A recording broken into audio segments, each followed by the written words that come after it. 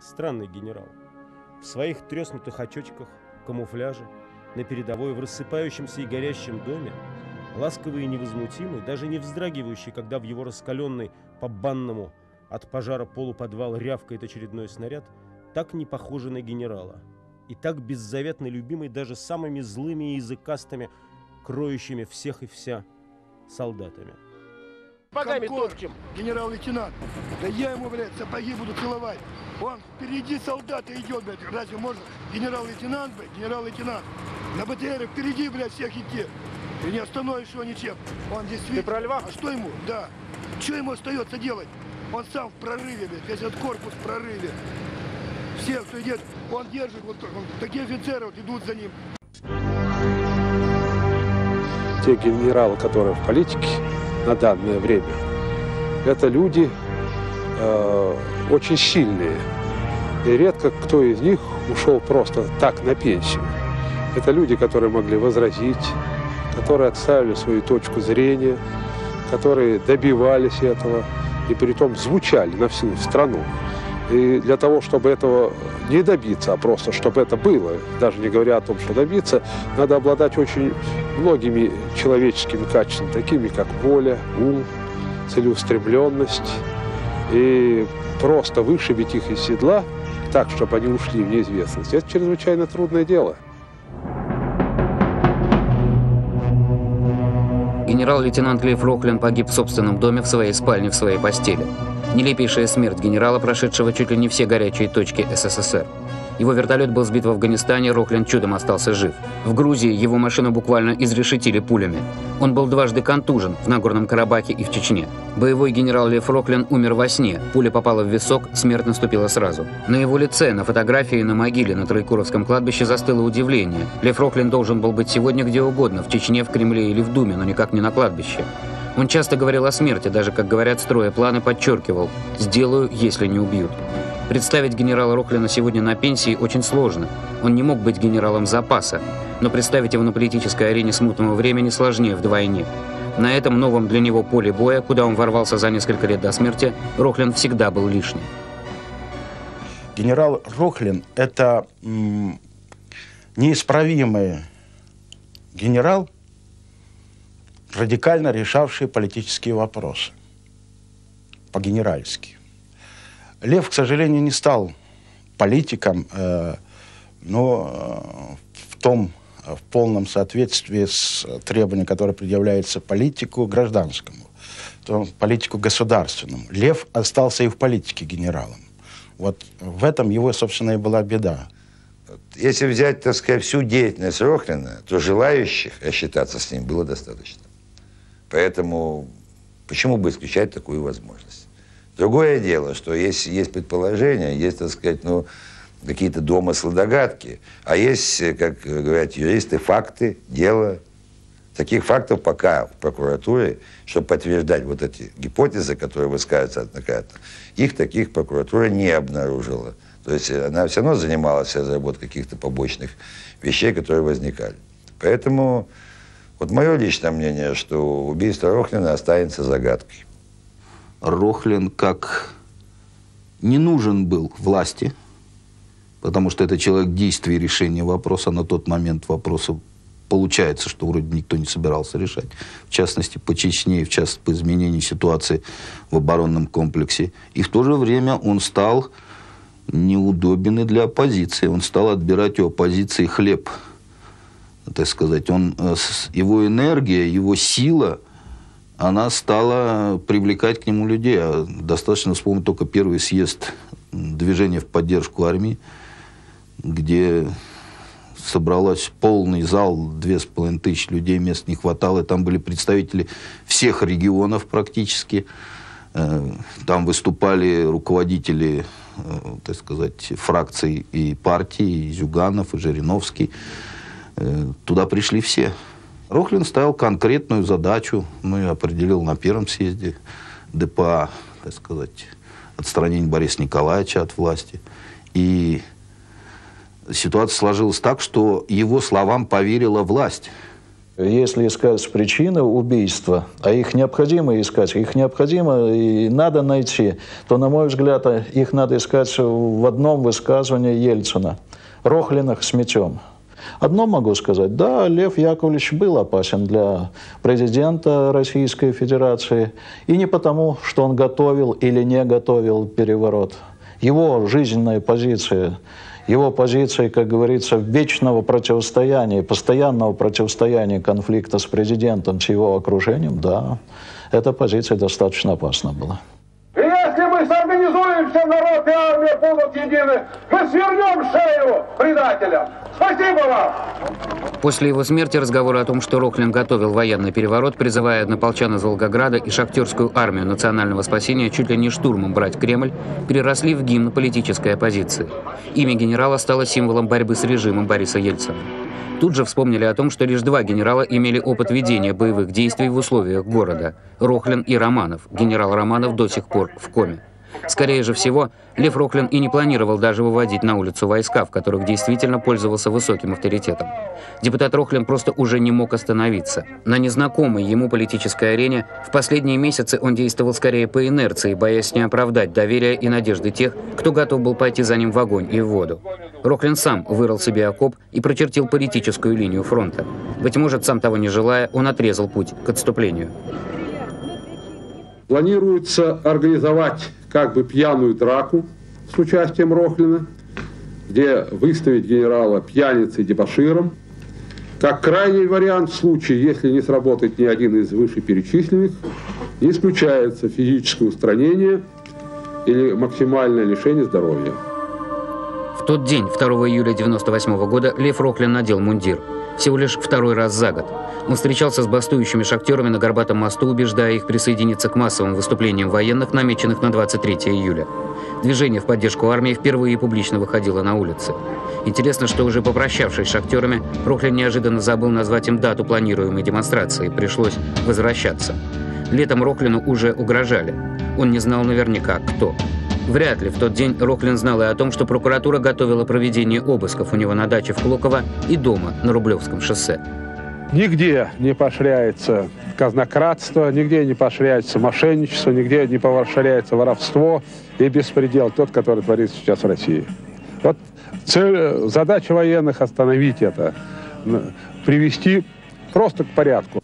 Последняя э, встреча наша со Львом, живым Львом, естественно, была за три дня до убийства.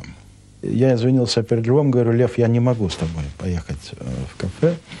Я говорю, ты извини, но у тебя вид такой, что тебя вот-вот убьют, Лев.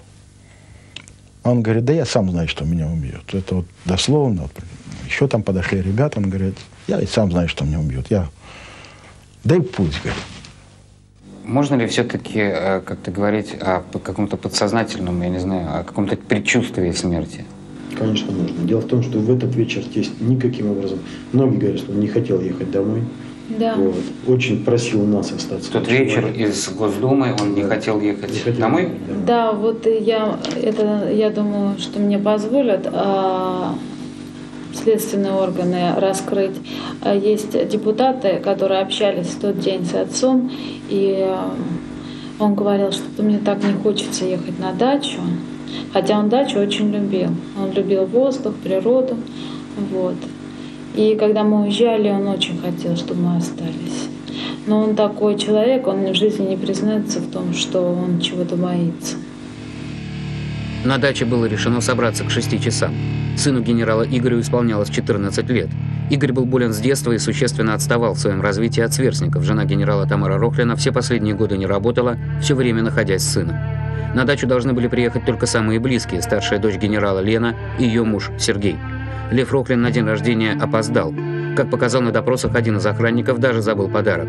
За ужином собралось семь человек. Лев Яковлевич с женой, сын, дочь с мужем, один охранник Александр и водитель Юрий. К последним двоим, оставшимся ночевать на даче, Лев Роклин по свидетельству близких относился как к членам своей семьи. Ближе к часу ночи уезжать собрались Сергей и Елена. Когда уже мы прощались, ну, во-первых, здесь хотел очень, чтобы мы остались ночевать. Вот. Но просто были утром дела, поэтому не стали. Сказали, что очень рано выезжать, поэтому не будем ночевать. И такой момент, вот, когда уже уходили, он расцеловал Аленку и такой эпизод. То есть он как бы меркантильными такими вещами не отличался. И это было вообще удивительно, что расцеловал свою дочь, когда Аленка там задала вопрос, что, что, что это что за нежности такие непонятные. Он сказал, я могу один раз в жизни типа свою дочь поцеловать. То есть было такое ощущение, что как будто человек предчувствовал, что это как бы последнее. И как бы прощался с нами. То есть вот такие ощущения действительно были. Насколько детально был разработан план охраны дачи, может быть, квартиры, машины? Ну, детально... Все функции были расписаны, насколько я да, понимаю. Да, конечно, да.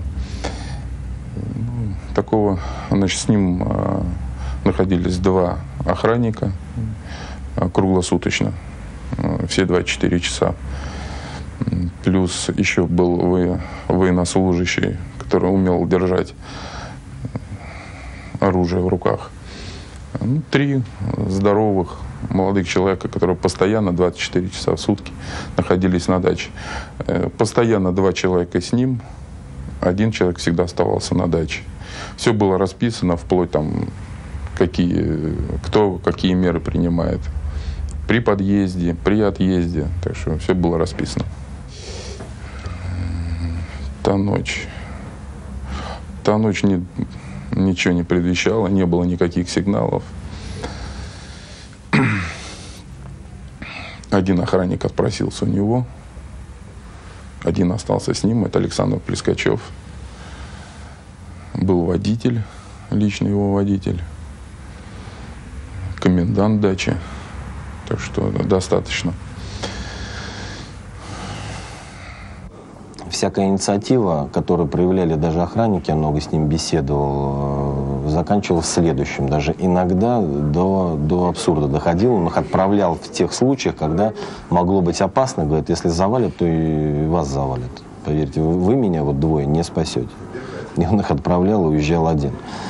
То есть это, я не знаю, что это был, фатализм. Я даже только после его смерти, например, узнал, что, оказывается, ему лично постоянно были звонки с угрозой. Я этого не знал. Он никогда об этом не рассказывал, хотя мы обо многих вещах говорили.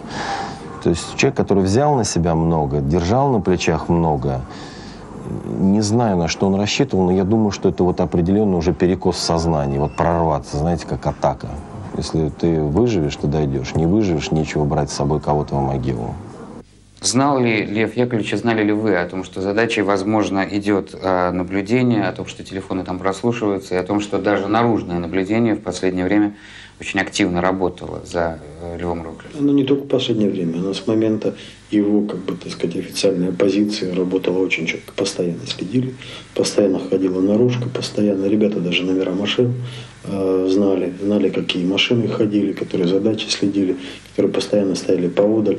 Впоследствии мы вот, то, что обнаружили площадку, сто процентов велось, видимо, наблюдение с этой площадки. Причем э, площадка, вот, которая была обнаружена, там как бы на деревьях была сделана полочка, с которой можно было, если нормальная аппаратура, то можно было снимать информацию со стекла, то есть фактически со спальни и из кабинета, где все разговоры практически происходили, когда какие-то люди приезжали к тестю, либо в кабинете, либо в спальне. Там стекла не двойные, поэтому спокойно можно снимать. Информация была со стекла. Вот, то есть аппаратура достаточно серьезная, которая сейчас есть, это никакого труда бы не представляло. То есть записи, и то, что телефоны прослушали, все до сих пор прослушивают телефоны, кто бы там чего не заявлял. Но это сейчас у вас уже, видимо, да? Да, да Потому что на даче телефона не осталось. Нет, там убрали. Вот. Телефон ну, и сейчас прослушивают, хотя, казалось бы, ну, сейчас-то что прослушивать? Вот. Ну, что, что далеко за примером ходить, если за мной наружка ходила до мая месяца 99 -го года? Мы уверены все, или во всяком случае многие депутаты Государственной Думы о том, что телефоны прослушиваются. Прослушиваются мои телефоны, я в этом уверен. И, как и бывший работник э, управления по надзору за исполнением законов о государственной безопасности. Хотя в этом никто никогда не признается. Что касается Льва Яковлевича, то он мне говорил, «Э, Виктор Иванович, ну, просто ведут, просто отслеживают, и что-то на душе-то немножко тревожно. Мы расстались 2 июня, А на следующий день мы договорились в 8 часов утра встретиться у меня в кабинете. Как раз мы обсуждали вот эти проблемные вопросы протестного движения, рабочего движения, которые, в общем-то, развивались уже и нарастали по всему Золотому кольцу вокруг э, Москвы. И я был просто в шоке, когда мне руководитель аппарата зашел в кабинет и передал записку, что поступила информация о том, что Лев Яковлевич убит. Роковой выстрел прозвучал в 4 часа утра. Рохлин был убит из собственного наградного пистолета калибр 5,45. Причем в ту ночь было произведено два выстрела. Первая пуля вошла в стену на первом этаже. Либо выстрел произошел самопроизвольно, либо убийца просто опробовал пистолет. Оружие в доме Льва Рохлина было всегда, часто он даже по армейской привычке клал пистолет к себе под подушку. В тот вечер этого не произошло. Шум от выстрелов, что многим показалось странным, никого не разбудил. Если следовать материалам дела, охранника Александра Плескачева разбудила Тамара Рохлина, заявив, что застрелила своего мужа. Перед этим она позвонила Елене, сообщив, что Лев Рохлин мертв. «Я сделала то, что должна была сделать». Эти слова Тамары Рохлиной впоследствии каждый поймет по-своему. Мы приехали где-то около половины восьмого, наверное, на дачу. Минут двадцать восьмого где-то вот так. Вот. Тамара Павловна, конечно, была в шоковом состоянии, то есть даже трудно описать это состояние, но это было не алкогольное опьянение. То есть какое-то вот непонятное состояние совершенно. Вот, она сразу же заявила, что э, что делать, это сделал не я. Но вот если она сказала, спрячь, мне сразу сказала, нужно спрятать срочно Лизу, Игоря, иначе, так сказать, я ничего вообще говорить не буду, все беру на себя, потому что есть угроза семьи. То есть вот суть всего разговора, который происходил с ней, он свалился к этому. Вот. Но порой речь становилась как бы бессвязной, то есть э, вот она то есть была в каком-то состоянии прострации полной. Вот. Но вот эта мысль, она постоянно проходила, проходила, проходила, что вот что делать, вот сейчас я не знаю, как быть и так далее и тому подобное. Где-то в 8.15, 8.10 я вызвал милицию. Получилось так, что я с Илюхиным и с Чугановым, руководителем его аппарата, выехал на место. Когда говорили, что выехала делегация Думы, выехали только мы трое, больше никто не приехал. Вот. Он прекрасно знает Емельянова по старой работе, пообщался с ним, побеседовал. А нас пропустили к Рохлину, первый пошел Илюхин. Очень сложно давать оценку этому разговору, потому что женщина находилась в шоковом состоянии. И говорить о том, что вот эти ее слова отражают то, что произошло накануне убийства, или в момент убийства, или исходя из произнесенных ей слов, э, выводить причину убийства, повод для убийства, я бы сказал, это стратегически неправильно для следствия. Надо глубоко изучить э, ее состояние. На мой взгляд, оно было близко к невменяемости или, может быть, даже на грани на грани этого, или даже действительно она находилась в состоянии невменяемости, шоковое состояние. Я на нее смотрю, говорю, Тома, что случилось? А я уже знал, что нас милиция поговорила, что я, я, там, туда-сюда.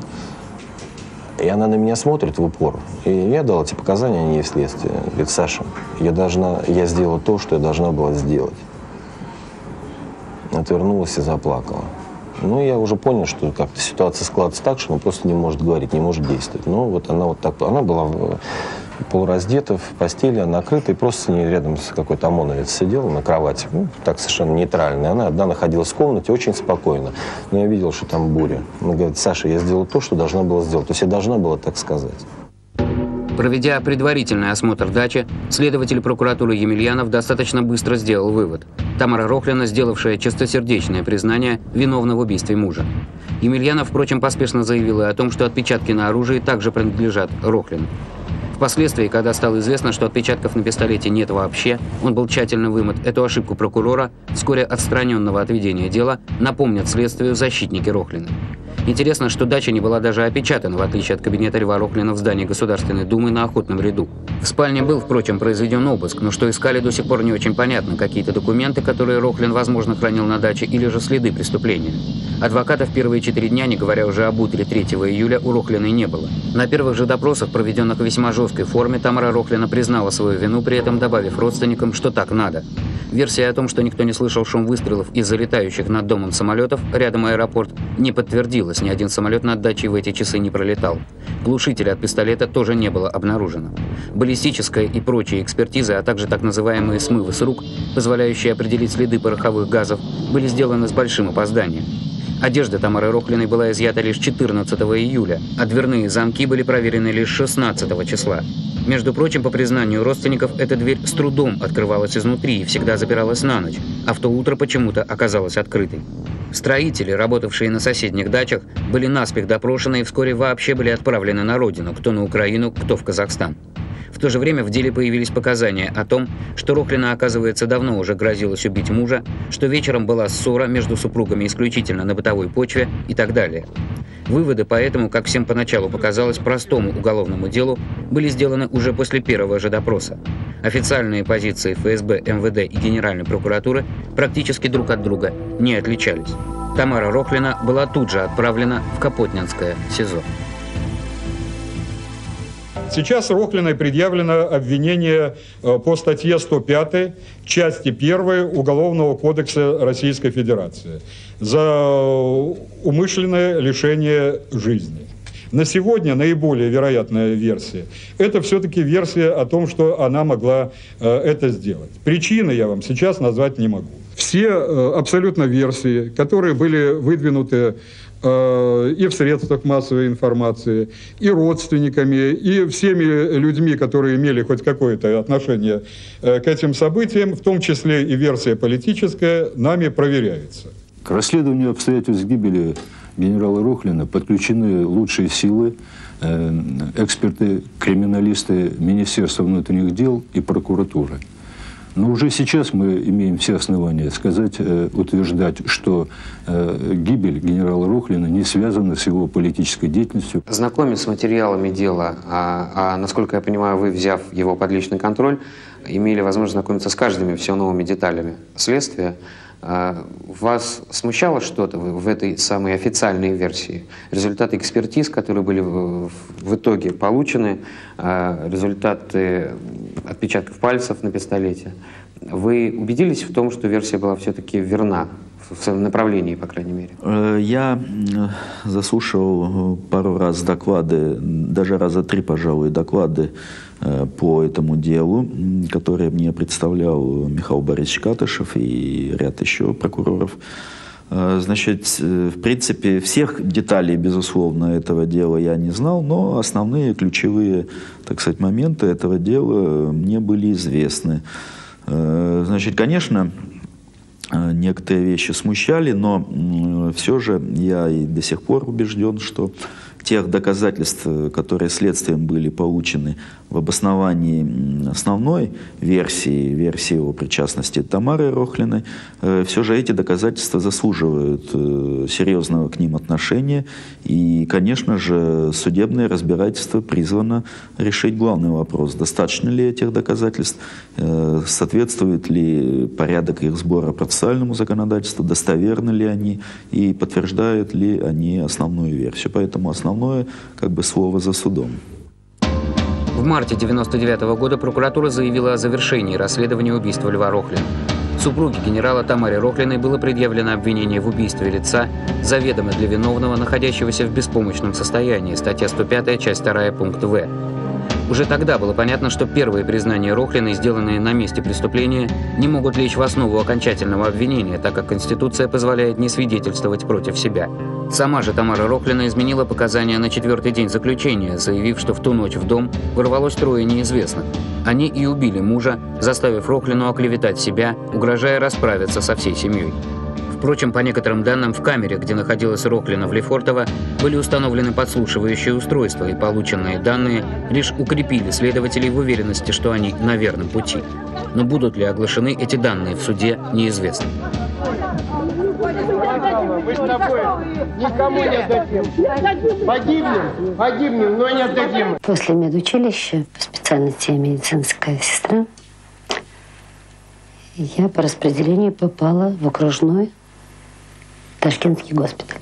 Мое дежурство Льву Яковлевичу делали танзелектомию. И вот он мне так мимикой, жестом показывает, что подать бумагу или написать хочет. Ну, думаю, что-то хочет больной написать, просьба какая-то говорить. Естественно, после этого они не могли. Я ему подаю тетрадь, он пишет, Тамара, вы хорошая. Тамара Осминкина и Лев Рохлин познакомились более 30 лет назад. Она медсестра, он курсант высшего общевойскового командного училища. Перспективный, целеустремленный, хороший спортсмен, его ждала генеральская карьера не меньше. Но цена этой карьеры оказалась неизмеримо высокой. 30 лет скитаний по гарнизонам, причем каким? Он был в Афганистане, откуда вернулся весь начиненный осколками. Затем в Нагорном Карабахе, откуда долгое время не удавалось выбраться семье Рохлиных, хотя болезнь сына срочно требовала вмешательства лучших врачей. И, наконец, Чечня. Сам генерал чувствовал себя с Тамарой как за каменной стеной. Он был уверен в надежности тылов.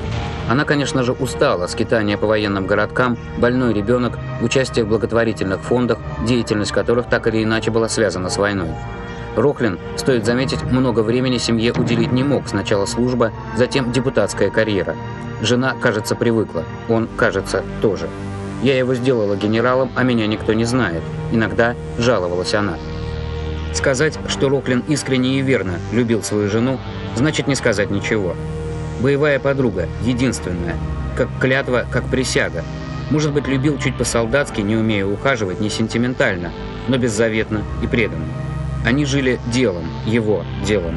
Не каждой семье такое под силу. Я не тот муж, которого стоило бы любить, как-то признался Рохлин. Он звонил ей из Чечни и говорил «молись за меня».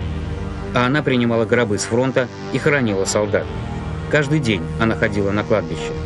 Как они живут, удивлялись друзья. Так и жили. Моя боевая подруга, которая прошла со мной все тяжести жизни Тамара. Я имел, в общем-то, неплохое представление о том, как они жили, как они прошли через всю жизнь. Все-таки это 25 лет. Много переездов, двое детей совместных, глубочайшее уважение Тамары Павловны к мужу, постоянный пиетет перед ним, постоянное подчеркивание, стремление помочь даже в его собственных делах, несмотря на те трудности, что они испытывали в семье. Передать это сложно, но находясь в этой атмосфере, я просто понимал, что он находится как за каменной стеной. Э, может быть, такой даже некоторый, э, ну, практически не афишируемый момент, и мало кому известно. Она часто приходила к нам как сотрудникам, там, и в пресс-службу, там, и к помощникам, и говорила, если что-то с Львом Яковлевичем, если что-то не так сделаете, будете дело иметь со мной лично.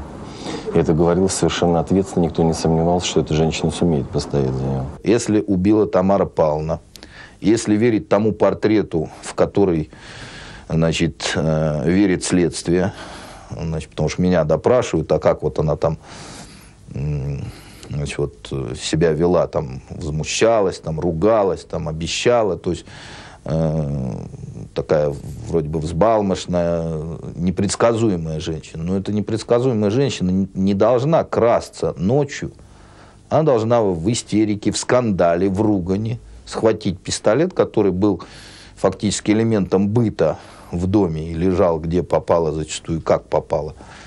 Был такой, наверное, момент. И схватить и выстрелить в него, не прячась. Павловна никогда нигде не пряталась. Она, если и ругалась, то это происходило открыто. Она никогда никого за спиной не шептала. Каждый знал ее мнение о себе. И муж в том числе которого она могла отругать, даже когда я присутствовал в доме за то, что он там что-то не сделал, что-то не так, значит, сказал, не вовремя пришел или еще что-то не сделал. Но подкрадываться не вижу в этом. Тамару Павловну в этом не вижу, в подкрадывании. В самом начале изначально я тоже смотрел как на простое бытовое дело.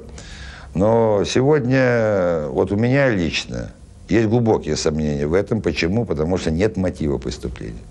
Вот когда беседую, я беседовал с Тамарой Павловной, она мне говорит, Геннадий Иванович, э, если вы меня считаете сумасшедшей, это один вопрос. Если вы меня считаете нормальной женщиной, это второй вопрос. Тогда вы мне ответите на простой вопрос. Я домохозяйка, не имею своей существованию ни копейки. Имею на руках больного сына, на лекарство которого надо в месяц минимум 500 долларов. Единственный кормилец у меня был Лев Рохлин. Да пусть бы он, говорит, хоть каждый день гулял по знакомым, понимаешь, я бы на это дело не реагировала. Мне важнее был сын. Что? Для чего? Зачем? Как всем известно, у отца ничего не было. Наверное, самый бедный генерал, в принципе. Потом... Развалившийся дом, развалившаяся дача. Для чего? С какой целью? Чтобы остаться с больным ребенком из пенсии 800 рублей? и, и не имея возможности идти работать, потому что ребенка не бросишь, на кого рассчитывать? Потом еще один момент такой интересный, но он уже более анекдотичный. То есть, когда пытаются поставить в вину даже что то, что она читала там Розенберга, Макиавелли в ночь перед этим, то есть это послужило как бы мотивом для того, чтобы произошло убийство. Ну, извините, адвокаты как бы в жалобах написали, я с ними консолидарен, они говорят, ну, тогда прочитайте сказку про Колобка, там убийство на убийстве практически. Что ж тогда запрещать читать детям эту сказку? Как вы считаете, почему Тамара Павловна так часто меняла свои показания? В принципе, это достаточно распространенный случай в практике, но чем в данной ситуации объяснить ее поведение, на ваш взгляд? Ну, мне трудно судить, как бы я могу только высказать э, какие-то соображения. Здесь целый комплекс факторов.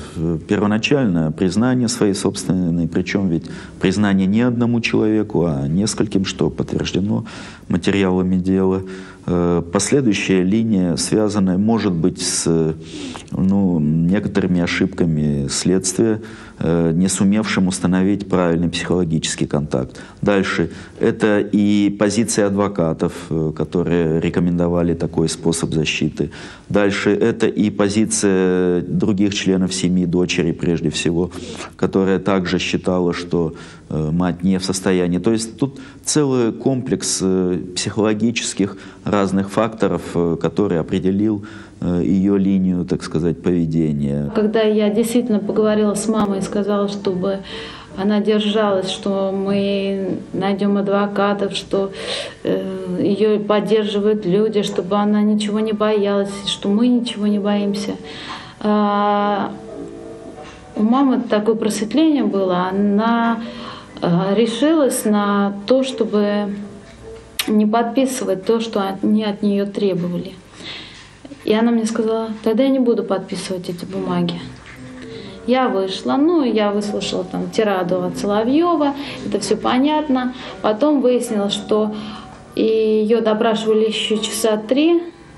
После этого она все-таки подписала эти бумаги о признании своей вины. В большинстве вот умов сейчас сложилось представление, что Амар Павловна признался, и на этом все кончено. Это неправда. Вот с тех самых пор, как она дала эти показания, она повторила дважды. Потом она отказалась от дачи показаний, но это единственные ее нормальные показания, данные при адвокате. Все остальные юридической силы не имеют. Потому что адвокат предоставлен не был. Но как только предоставили адвоката, она тут же дала показания. Трое в масках. Жестко, быстро появились внезапно за ее спиной. Подняли мгновенно ее наверх. Зажали рот, нос, подняли ее наверх. Из-за ее спины был в висок произведен выстрел. То есть, когда он проснулся, он увидел ее.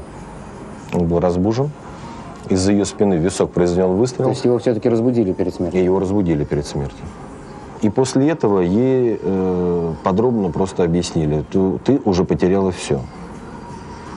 Значит, если ведешь себя нормально, твои родственники остаются живы. Нет, э, все будет сделано точно так же. И они исчезнут.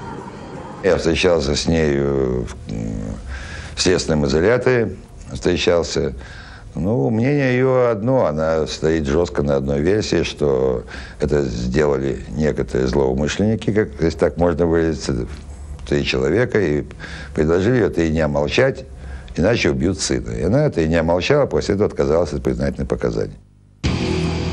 Версия о возможном заговоре, жертвой которого и стал Лев Рохлин на самом деле, появилась почти сразу же после его смерти. Неподалеку от дома, в лесу, откуда, по некоторым данным, задачей Рохлиных круглосуточно велось наблюдение, а то, что за ним следили, знал почти каждый в деревне Клоково, утром 3 июля, то есть в день убийства, были обнаружены три обгоревших трупа.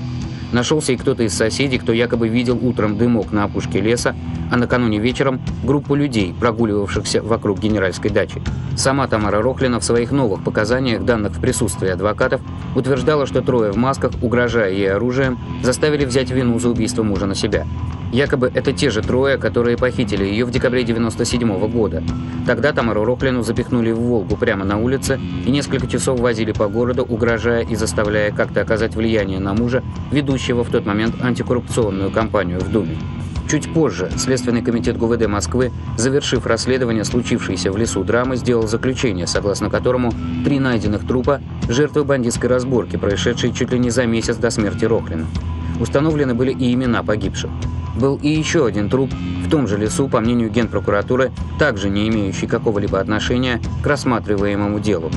Тем не менее, именно эта версия, широко обсуждающаяся в прессе, и до сих пор является доминирующей среди соратников погибшего генерала.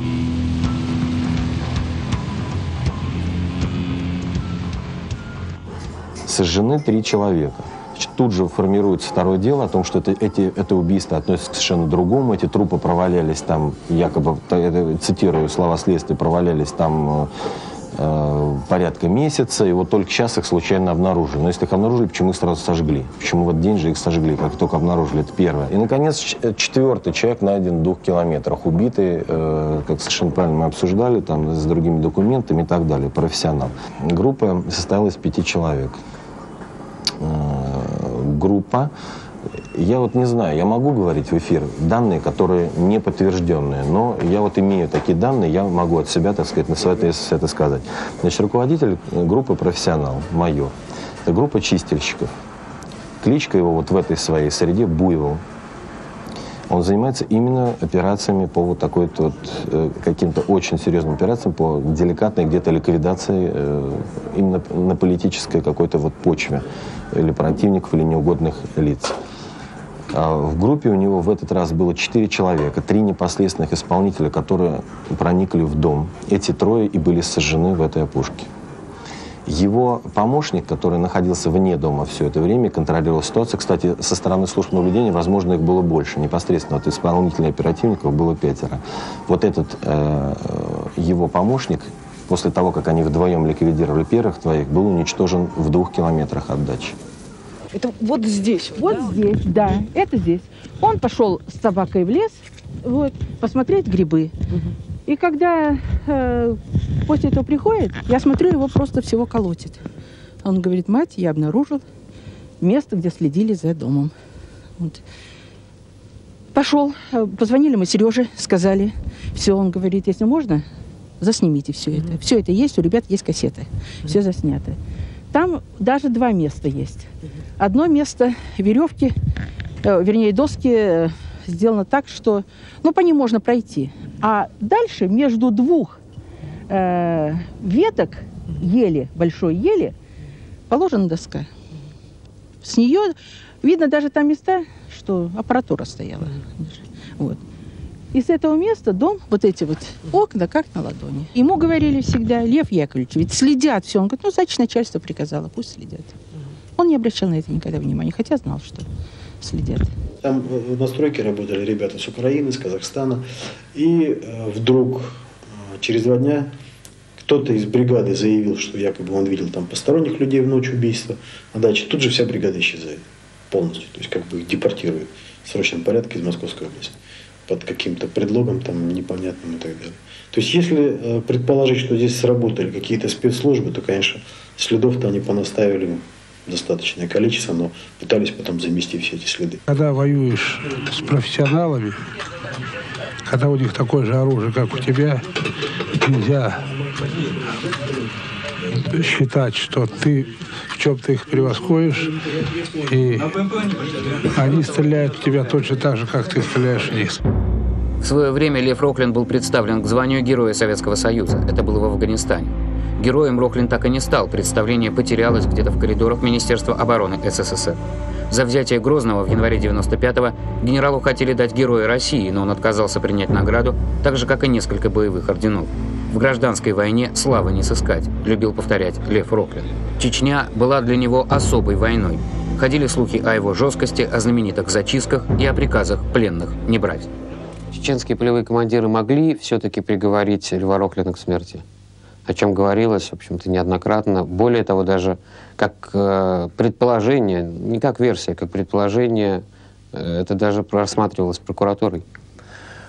Еще во времена ведения боевых действий в Чечне проходила информация по разным источникам, в том числе по линии ФСБ, о том, что готовится ряд террористических актов в Волгограде, так как корпус показал себя с высокой стороны, и в том числе об физическом устранении Льва Яковлевича Рохлина. Ну, или по стечению обстоятельств, или же ввиду того, что была все-таки проделана огромная работа, ни одного террористического акта, а даже одно, ни одного покушения не было. Но такая информация проходила. Я хочу сказать, что изучались э, различного рода версии, и многие вещи, из которых вы вот сейчас перечислили, для меня не являются секретом. Я мог бы даже продолжить перечень. Э, много достаточно известно о личности генерала, его, так сказать, роли но все же те доказательства, которые были собраны в пользу основной версии, они, конечно, оказались э, ну, превалирующими и привели нас к выводу о том, что эта линия является доминирующей. Хотя, повторяю, э, скажем, учит, принималась во внимание и многогранная политическая деятельность генерала, и его оппозиционная, так сказать, роль по отношению к власти имущим ныне в России. Короткая политическая карьера Льва Рохлина была столь стремительна, а деятельность столь многогранна, что людям, склонным искать различные версии его смерти, он дал огромное поле для изучения. Рохлин заявлял о том, что Россия продавала оружие Армении, он разоблачал нефтяные аферы, лежащие в основе очередной Кавказской войны, он называл счета российских генералов в западных банках и требовал суда над Павлом Грачевым. Он призывал Думу к импичменту. Он воевал со временем, в котором он жил. Чем-то это должно было когда-нибудь кончиться. То, что касается меня, э, то я не скрывал своих помыслов. Для меня слишком было э, страшным, что к власти могут прийти э, коррупционеры, которых вся армия знает. И это было очень реально. И стоило рисковать своим, в том числе и своим благополучием ради того, чтобы не допустить это. Но дело у меня продолжается. Сегодня уже много говорят и версии высказывают по поводу того, что значит, готовился военный переворот. Движение в поддержку армии на первом этапе рассматривалось Рохлиным как прообраз. Это я говорю лич, из личного разговора с ним, личного, где он мне сказал, что вот это движение может стать основой создания политической партии. Как третьей силой значит, на политической арене между значит, про правительственной администрации Ельцина и коммунистами. Вот как третью силу. Он все время говорил о третьей силе и вел переговоры. Он делал неправильные шаги, не посоветовавшись с комитетом по обороне, делал какие-то резкие заявления, делал какие-то выступления. Э, я сейчас не помню, но одно из выступлений, связанное с проблемами военного строительства, с проблемами э, значит, Чечни, с проблемами Армении тогда, с поставками оружия. Лев сделал, не посоветовавшись ни с кем. И даже, более того, не изучив глубоко э, все, что происходит. Он после каялся. Мы, когда с ним разговаривали, он признавал, что он поспешил. Но вот он мне говорит, ты понимаешь, ну, нельзя. Вот пока мы будем разбираться, пока мы будем изучать все эти вопросы, время-то уходит. Вот я, говорит, понимаю, как генерал, что нужно сегодня решать. Что нужно делать то, что э, не делается сегодня. Именно, неважно, говорит, понемножечку где-то, э, по кирпичику, но строить, делать. Вот это была позиция Льва. Ему нужно было что-то сегодня практически какой-то кирпичик делать. Сколько можно прожить в нечеловеческом напряжении, в страхе, чувствуя опасность и выслушивая угрозы? Сама жизнь загоняла Рохлина в тупик, и по нему это было видно. Стало меняться отношение к нему среди коллег-депутатов, им играли спецслужбы, направляя туда, куда было выгодно. Он старался поправить ситуацию, но она развивалась уже сама собой, и его собственные действия плохо сочетались с тем, что он считал правильным. Он умер нелепо, с одной стороны, от пули, как воин, с другой стороны, во сне. Нелепость и нелогичность всего, что происходило с ним в последние годы, стали очевидны в день его похорон. Все хоронили борца с режимом, а умер человек, большой и сильный, сложный и простой одновременно. Кто же все-таки выиграл от смерти Рохлина? Выиграли все. От смерти Рохлина выиграли все. Рохлин отнимал хлеб у оппозиции, потому что в силу своих личностных качеств и биографии своей был куда интереснее и привлекательней для протестного электората, чем те лидеры, которые сегодня возглавляют его. Он был выгоден, естественно, власти. Ну, зачем такую головную боль иметь?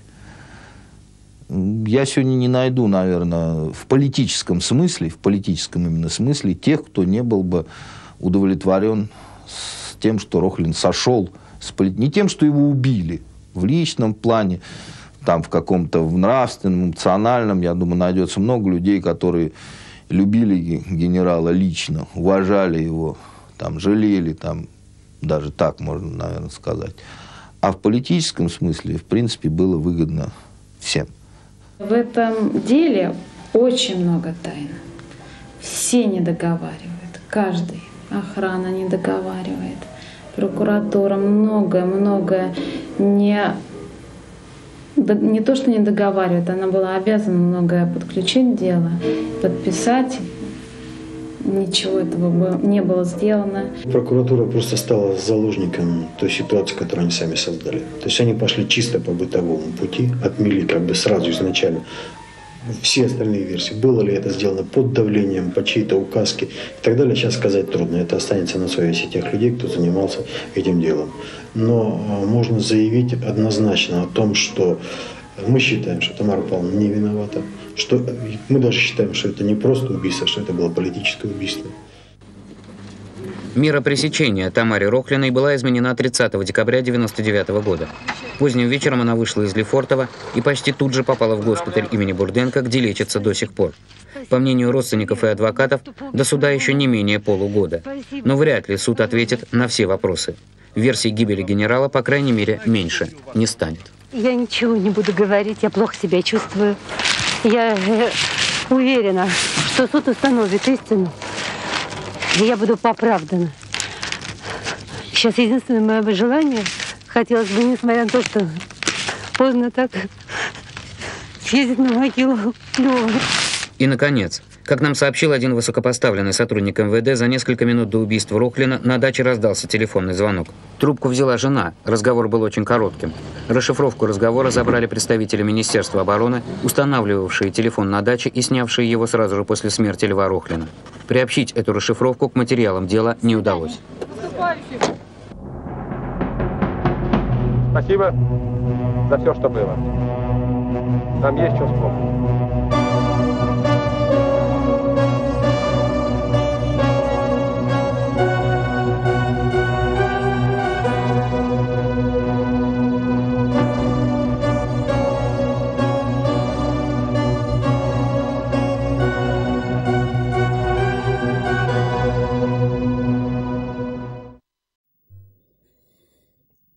Здравствуйте, люди! Вот моя любимая мамуля, которая третий год уже не ходит после инсульта.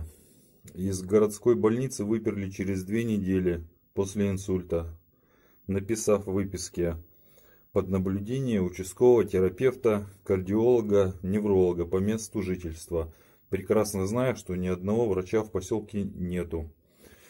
В январе будет ровно три года, как я бросил работу в Москве на Новой Риге и приехал в Архангельскую область, чтобы ухаживать за мамой.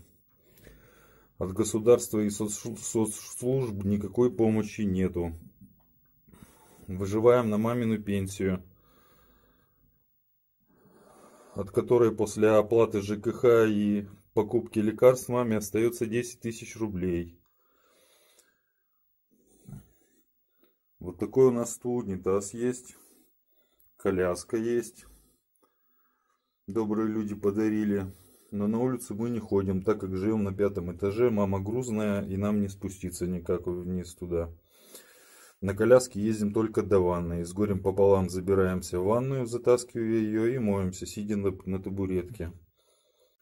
Спасибо вам за внимание. Здоровья вам и вашим близким.